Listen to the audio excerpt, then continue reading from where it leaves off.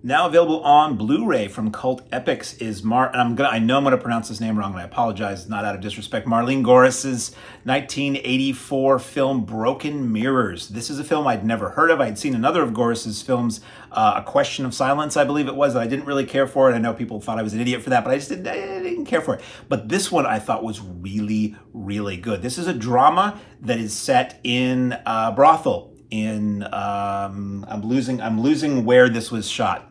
Pardon me while I look at the back of the box.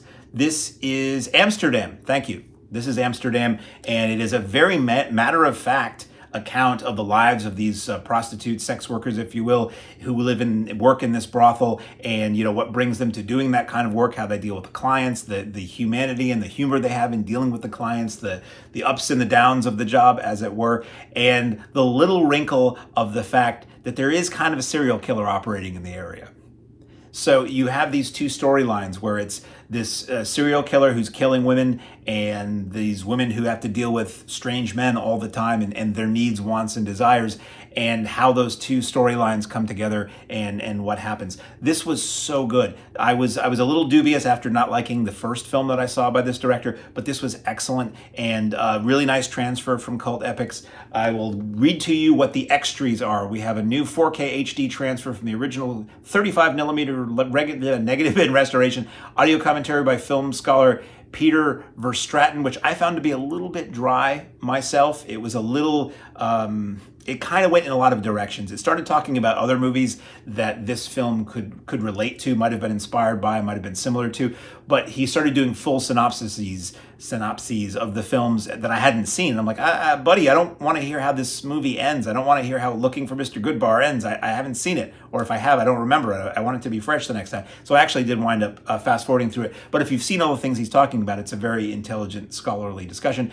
There's an interview with U.S. sex worker Margot St. James on the Adriaan van Dis slash Cinema 3 TV program from 1984. This is really, really cool. Um, it peripherally has to do with this. And she mentions, I think, the film in, in Gorris, which I know I'm pronouncing wrong, uh, in this interview, but it's a 1984 uh, European or, or, Netherlands Dutch uh, TV show uh, interview, which in, in, excellent quality, which is something that you normally would never see here, and it touches on the the topics, the themes of this film.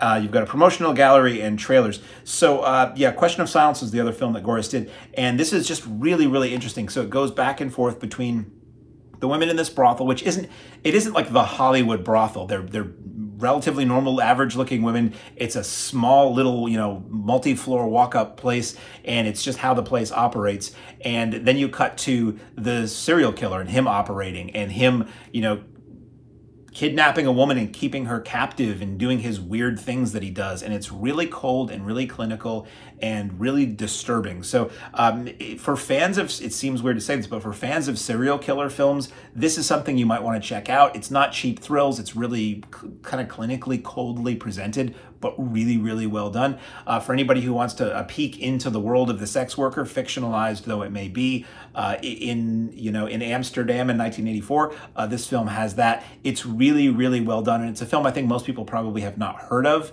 and uh, it's certainly worthy of of of, uh, of, a watch and of study and of, of discussion. Very, very, very good release from Cult Epics. This is Broken Mirrors.